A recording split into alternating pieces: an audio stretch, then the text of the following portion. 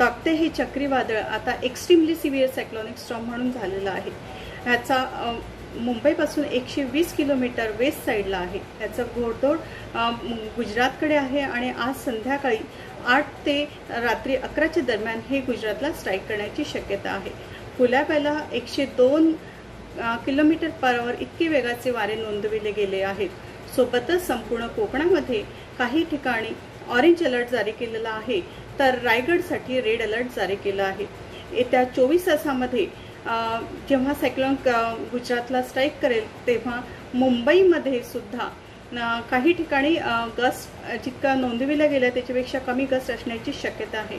येत्या अठ्ठेचाळीस तासामध्ये वाऱ्याचा वेग अजून कमी होण्याची शक्यता आहे. सोबतच मध्यम स्वरूपाचा पाऊस असेल.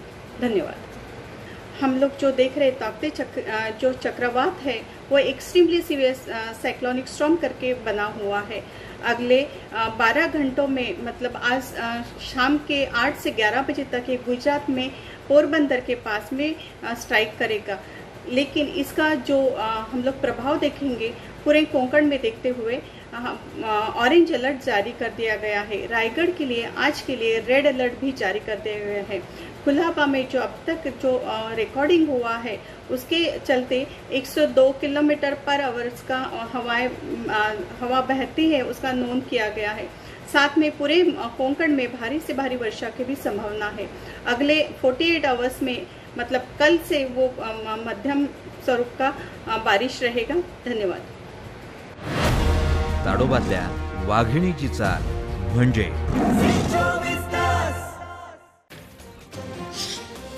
सिंधुदुर्ग जिल्ह्यामध्ये तोतके चक्रीवादळामुळे जिल्ह्यामध्ये चारशे सत्तेचाळीस घरांचं नुकसान झालेलं असल्याची प्राथमिक माहिती मिळते. तसंच सदोतीस गोठ्यांचंही नुकसान झालेलं आहे. एकशे त्रेचाळीस ठिकाणी झाडं पडली असून तीन शाळांचे दहा शेडचं नुकसान झालंय. तसंच चौदा शासकीय इमारतींचं आणि तेवीस विद्युत पोलही पडलेत तर दोन विद्युत वाहिन्यांचंही नुकसान झालेलं आहे. रायगडमध्ये चक्रीवादळामुळे पाच घरांचं मोठं नुकसान झालं तर एकशे एक्क्याऐंशी घरांचं अंशतः नुकसान झालेलं आहे. वादळामुळे कोणतीही जीवितहानी नाही आहे. मात्र बारा मोठी झाडं कोसळली आहेत. मात्र नॅशनल हायवे आणि स्थानिक प्रशासनानं ही झाडं तातडीनं हटवली आहेत. महाड पोलादपूर रोहा या भागांमध्ये विजेचे सतरा पोल पडल्याची प्राथमिक माहिती व्यवस्थापनानं दिली आहे. गेल्या वर्षी झालेल्या निसर्ग चक्रीवादळाचा सर्वात मोठा फटका हा श्रीवर्धनला बसला होता. मात्र या चक्रीवादळाचा मोठा धोका टळल्यानं सर्वांनी सुटकेचा निश्वास सोडलाय. श्रीवर्धन तालुक्यात काही ठिकाणी घरांची पडझड झाली तर रस्त्यावर झाडं पडण्याचे प्रकार घडले. मात्र प्रशासनाने सर्व यंत्रणा सज्ज ठेवली असून वीज पुरवठा खंडित झाला असला तरी जनरेटर उपलब्ध असल्यामुळे कोविड रुग्णांची गैरसोय झालेली नाही.